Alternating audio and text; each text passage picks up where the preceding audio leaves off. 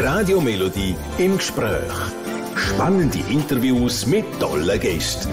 Immer auch zum Nachschauen auf www.radiomelodie.ch. Radio Unser heutiger Gast ist im letzten Jahr so richtig durchgestartet. Vorher ist er vor allem als Straßenmusiker, als Singer-Songwriter unterwegs gewesen und letztes Jahr hat er einen ersten Titel auf den Markt gebracht, heißt Herz unendlich und inzwischen geht es darauf und darauf für den Daniel Sommer. Herzlich willkommen. Hallo, liebe Grüße in die Schweiz. Daniel, ich habe es gesagt, du hast lange Zeit auch Straßenmusik gemacht. Das stimmt so, glaube ich, oder? Ja, das, das stimmt. Also ähm, das habe ich echt sehr, sehr viele Jahre gemacht und äh, ich mache es heute auch noch gerne. Ich meine, jetzt natürlich im letzten Jahr war das äh, sehr, sehr wenig, weil ich mein, wir haben es ja alle mitbekommen, Corona, die Städte waren dicht und äh, deswegen habe ich es jetzt, jetzt eine ganze Weile nicht mehr gemacht, aber ich habe das echt sehr lange gemacht und ich finde es halt echt immer super cool, da zu stehen und einfach die Reaktionen und Emotionen in den Gesichtern der Leuten halt direkt zu sehen. Und äh, das Beste ist halt natürlich, wenn irgendwer da schlecht gelaunt durch die Fußgängerzone läuft und dann irgendwie mich da singen hört, rüber guckt und plötzlich dann auch irgendwie ein Grinsen, Schmunzeln im Gesicht hat und sich einfach freut und äh, abprompt irgendwie eine bessere äh, Laune hat. Und das ist natürlich das Schönste.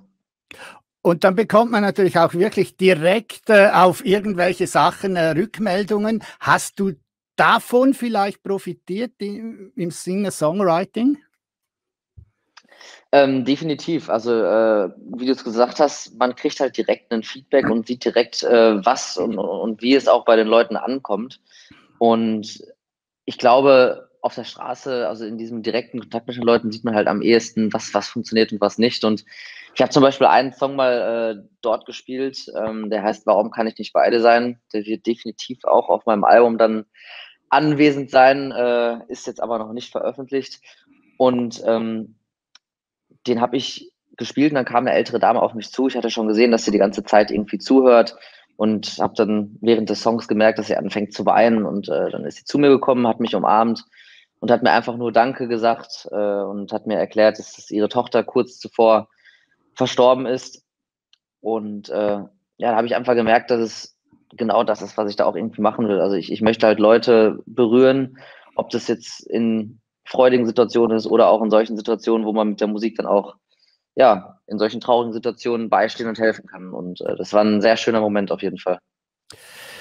Dein erster Song, der so für uns Radiostationen bekannt wurde, war äh, Herz auf unendlich. Warum ging es eigentlich so lang, bis du mal irgendetwas auf den Markt gebracht hast? Ja, das ist eine gute Frage. Ich habe auch wirklich sehr lange vorher schon überlegt, so, wann ist der richtige Zeitpunkt, wann ist der richtige Zeitpunkt. Und ich habe auch überlegt, ob letztes Jahr mitten in Corona der richtige Zeitpunkt ist. Aber ich habe gesagt, komm, jetzt musst du es einfach machen. Und ich habe es dann auch gemacht. Ich habe vorher viele viele Jahre auf Geburtstagen, auf Hochzeiten viel Covermusik gemacht und habe dann aber gesagt, nee, komm, jetzt ist der Zeitpunkt gekommen, jetzt will ich meine eigene Geschichte erzählen, meine eigenen Lieder schreiben und äh, dann habe ich trotz Corona gesagt, ich mache das jetzt und habe Herz auf unendlich veröffentlicht, was auch so ein bisschen mein Lebensmotto ist, das Herz auf unendlich zu setzen und äh, ja, das zu machen, was man fühlt und worauf man Lust hat. Und nachher ging es dann äh, direkt weiter quasi mit Zuhause. Äh, das ist ja im weitesten Sinn auch ein Song, der aufstellt, auch zu Hause zu bleiben und dass es schön ist, dass man äh, sich auch rein äh, fühlen kann in die Zeit, wo alle viel halt zu Hause bleiben müssen. Ja, definitiv. Deswegen habe ich den halt auch dann im, im Herbst gebracht, weil wir halt, wie du es jetzt auch gesagt hast, wirklich alle sehr viel zu Hause waren und äh, sehr viel Zeit in den eigenen vier Wänden verbracht haben. Ich für meinen Teil kann aber auch sagen, dass ich in dieser Zeit, wo sehr viel eingeschränkt war, äh, festgestellt und gemerkt habe, was und wer für mich im Leben wichtig ist. Und das habe ich in dem Song auch so ein bisschen verpackt. Also egal, wo man auf der Welt ist, egal wie viel gerade Trubel ist und wie viel passiert, man hat diesen einen Ort, diese eine Gruppe von Menschen, wo man ja Tag und Nacht hinkommen kann und wo alles ist wie früher, wie immer. Ähm, das eigene Zuhause halt. Und, und nach zu Hause zurückkommen, ich glaube, du bist auch äh, ein bisschen ein Weltenbummler. Definitiv. Also Reisen ist äh, hier ganz, ganz oben angesetzt bei mir auf der Prioritätenliste. Ist natürlich jetzt auch aufgrund von Corona äh, sehr, sehr kurz gekommen, aber ich meine, wir müssen uns auch dran halten und äh, ich glaube, nur so kommen wir durch die Pandemie durch, wenn wir da alle erstmal wirklich jetzt zu Hause bleiben. Ich freue mich aber schon, wenn ich wieder die Welt bereisen kann und äh, ja, vielleicht auch mal wieder im Bulli durch Australien cruisen kann. Jetzt musst du zu Hause bleiben und äh, hilfst du zu Hause ab und zu und du machst ha Arbeiten, wie ich da sehe. oh, hast du ja gut recherchiert. ähm, das war tatsächlich bei einem äh, Freund, die haben eine äh, Firma, wo die halt äh, so ja, Baustellen und sowas bedienen und, und viel mit äh, so Steinplatten arbeiten. Und da habe ich letztens mal spontan so ein Foto gemacht. Und äh, doch, ich helfe aber auch schon zu Hause. Ich glaube, ich bin äh, im, im, Haushalt nicht, nicht verkehrt. Ähm, und ja, doch, wird mich schon als, als guten Hausmann auch bezeichnen.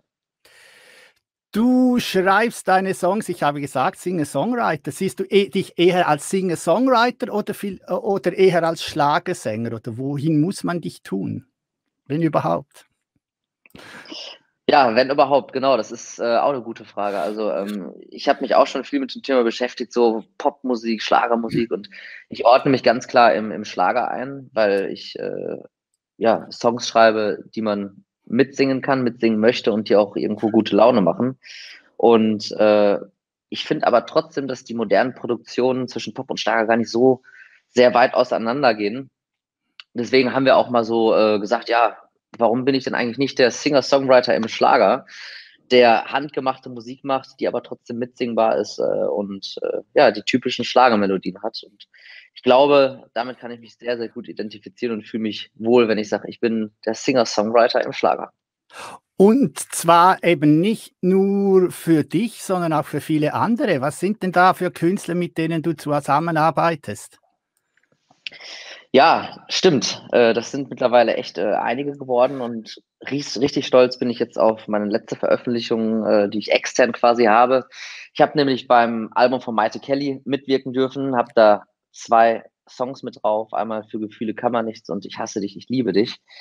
Und das macht mich halt unfassbar stolz, dass so eine tolle, großartige und hochwertige Künstlerin wie Maite Kelly mir da Vertrauen schenkt und mich in den Songwriting-Prozess mit einbezieht. Und ich freue mich auf alles, was da noch kommt. Ähm, dieses Jahr stehen noch eventuell ein paar andere große Namen mit an. Und äh, ja, ihr dürft alle gespannt sein. Ich bin es auch, mindestens genauso sehr wie ihr. ich muss doch nochmals zurück auf Maite Kelly kommen. Schau mal, was sie mir letzthin verraten hat. Ähm, wir haben auch mit Daniel Gigogol oder auch Daniel Sommer mhm, ähm, genau. Genau gearbeitet. Und äh, mir ist es natürlich immer wichtig, mein Know-how den jungen Kids weiterzugeben. Ja. Aber man braucht zwei Dinge. Ein guter Schüler hat Demut. Und äh, Sebastian und, und Daniel sind einfach, ähm, ich weiß nicht, welche Freude, also wer von uns mehr dankbar ist dafür. Also ich kann nur eine gute Lehrerin oder eine gute Meisterin sein ähm, mit so großartigen Schülern. Also mhm. und ich gebe es zu, manchmal kommen die mit Sätzen, da sage ich, hey, da hast du mich gerade gegen die Wand geschrieben. und das ist es macht mich glücklich. Also der Tag, wo sie bessere Lieder äh, komponieren können ohne mich, ist der Tag, äh, wo ich äh, sehr, sehr, sehr, sehr glücklich bin. Da sieht man ja, Wahnsinn. die große Wahnsinn. Aber das ist auch wirklich das, das ist das, wie Maite wirklich ist. Sie ist wirklich ein herzensguter Mensch und äh, ja, also jedes Mal, wenn wir da zusammensitzen und an neuen Songs arbeiten, ist wirklich ein Tag, wo man mit, mit mehr Input aus, aus dieser Session da irgendwie rausgeht und äh, ja, ganz, ganz toller Mensch. Und du hast äh, eben noch mit anderen Leuten zusammengearbeitet. Du arbeitest mit Sebastian Wurr zusammen, du arbeitest auch mit Tim Peters zusammen. Äh, das, da seid ihr wie so ein, ein, eine ganze Crew junger Leute, die den Schlager so fast hm, vorwärts bringen irgendwo. Definitiv. Wir sind wirklich ein unfassbar gutes Team ähm, und wir nennen uns ja auch ein bisschen immer hier Team Düsseldorf. Ähm, Tim Peters und auch der Paul Falk, der mein Hauptproduzent quasi ist. Äh, wir ergänzen uns da wirklich sehr, sehr gut. Paul kommt eigentlich auch ein bisschen aus der Popmusik, ist jetzt aber auch sehr viel im Schlager unterwegs. Und ich glaube, die Kombination aus dem Ganzen macht es irgendwie. Und ein riesen Vorteil, den wir da einfach haben, ist, dass wir uns halt immer ehrlich die Meinung sagen, uns da immer wirklich sehr gut austauschen können. Und ja, wie du sagst, ich glaube, wir sind äh, jetzt eine Gruppe, die den Schlager ganz weit nach vorne bringen kann und auch bringen will. Und wer weiß, wo wir in ein paar Jahren alle sind. Aber es macht einfach unfassbar viel Spaß und äh, ich glaube, das ist das Wichtigste. Und die Zusammenarbeit, die, die, hört man quasi auch in eurem neuesten Song äh, oder in deinem neuesten Song. Dafür sind Freunde da. Hat das mit dieser äh, Kombination vielleicht auch zu tun? Definitiv. Dafür sind Freunde da. Die Entstehungsgeschichte des Songs ist auch ganz lustig. Ich saß nämlich zusammen mit Sebastian Wurt und Paul Falk. Ähm, wie gesagt, das ist alles mein engster Freundeskreis. Saß ich im Garten bei den Eltern von Paul und äh, wir haben da wie so oft mal irgendwie einen Wein getrunken, einen schönen Sommerabend letztes Jahr. Und äh, Dieter Falk, ähm, der ja auch Produzent ist und Vater von Paul, stand am Grill und hat die Würstchen gegrillt. Und wie es dann der Abend so gebracht hat, waren wir am Ende im Tonstudio. Und dann hat Dieter gesagt, ey Jungs, schreibt doch mal irgendwie eine Nummer über das, was ihr habt, über das, was ihr seid. Und so ist dafür sind Freunde da entstanden. Und ich habe versucht, zusammen mit, mit den beiden dann einfach und Dieter natürlich auch, ja, die Geschichte, die wir erlebt haben und die wir erleben möchten, auch noch in 20 Jahren schauen wir uns alte Bilder an, ähm, da in diesen Song reinzupacken. Und ich bin sehr, sehr happy mit dem Song und äh, ja, bin, bin froh, dass der jetzt auch gut ankommt. Äh, der Vater von äh, Paul Falk, Dieter Falk, ist ja auch kein Unbekannter. Er hat ja äh, irgendwo ganz wichtige Elemente mit bei Pur mitgemacht, hat Musicals geschrieben, hat Oratorien geschrieben, äh, ist ein, ein ja. Musiker mit sehr, sehr breitem äh, Wissen natürlich. Äh, inspiriert das auch oder äh, hat das vor allem den, äh, den Paul äh, stark inspiriert? Ja, definitiv inspiriert das. Also ich meine, Dieter Falk, den kennt wahrscheinlich jeder irgendwie, der saß ja auch mal in der Popstars-Jury drin und hat wirklich großartige Künstler bearbeitet und auch zusammen mit denen Großes geschaffen. Und ich glaube, es war einfach ein magischer Moment, wo wir da zusammen im Tonstudio waren und äh, wir jungen Küken, die alle irgendwo viele crazy Einflüsse irgendwie haben und dann diesem erfahrenen Dieter Falk, da, ja, es war einfach ein magischer Moment und äh, dafür ist dann, oder dadurch ist dann dafür sind Freunde da entstanden. Dafür sind Freunde da, ist äh, dein aktueller Song, aber du hast es schon angetönt, irgendwann kommt dann wahrscheinlich mal ein ganzes Album. Da sind wir auch ganz fleißig dran an dem äh, Album. Also wir haben jetzt auch schon wirklich viele Songs in der Pipeline drin und warten natürlich dann aber auch auf den richtigen Zeitpunkt, so ein Album zu veröffentlichen, weil gerade als Newcomer ist es halt unfassbar schwierig, da Fuß zu fassen und deswegen arbeite ich jetzt erstmal noch ein bisschen weiter mit Singles und gucke da, dass ich da wirklich viel Aufmerksamkeit bekomme. Und äh, dann wird auf jeden Fall irgendwann der Zeitpunkt da sein, wo ich ein ganzes Album veröffentliche und äh, ja, dann mehr von meiner eigenen Geschichte erzählen kann. Gibt es denn auch schon geplante oder vor, vorgesehene Auftritte fernsehmäßig, dass wir in der Schweiz vielleicht auch dich mal äh, im Fernsehen zu sehen bekommen?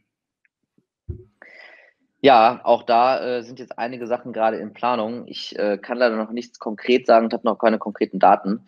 Aber ähm, ja, ZDF Fernsehgarten sieht auch ganz gut aus für dieses Jahr. Ähm, Schlagerspaß mit Andy Borg schaut auch wieder ganz gut aus. Da durfte ich ja, ja mhm. auch schon mal auftreten. Genau. Und auch immer wieder sonntags äh, sieht auch gut aus. Deswegen einfach Ohren und Augen offen halten und äh, nach Daniel Sommer Ausschau halten. Und nach Daniel Sommer Ausschau halten kann man natürlich auch in den Social Media. Du postest äh, recht viel, habe ich das Gefühl.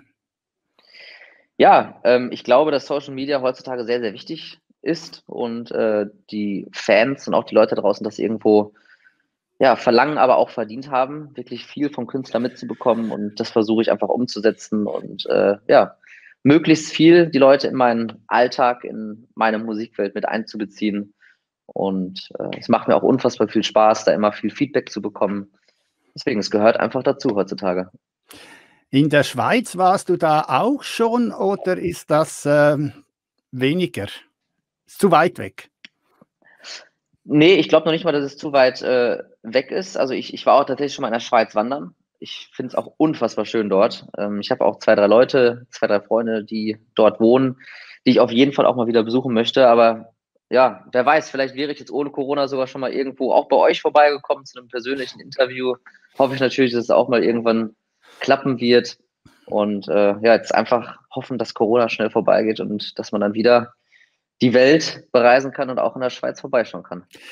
Wir werden auch bei dir immer wieder vorbeischauen und hoffentlich äh, demnächst vielleicht auch wieder einen neuen Song. Ist da schon was geplant für Sommer oder so? Definitiv. Da sind wir jetzt auch gerade fleißig dran. Ich freue mich sehr, sehr, sehr auf den neuen Song auch schon wieder. Ähm, ich kann leider noch nicht jetzt viel verraten, äh, aber es wird richtig cool, wird richtig fresh und äh, ja, ich bin gespannt, wie der dann auch wieder ankommt. Da sind wir auch gespannt. Daniel, danke vielmals, dass du Zeit hattest für uns und äh, weiterhin alles Gute. Und ich bin ganz sicher, wir hören und sehen uns irgendwann schon bald wieder mal. Ich bedanke mich auch sehr, dass äh, ich hier wieder eingeladen wurde.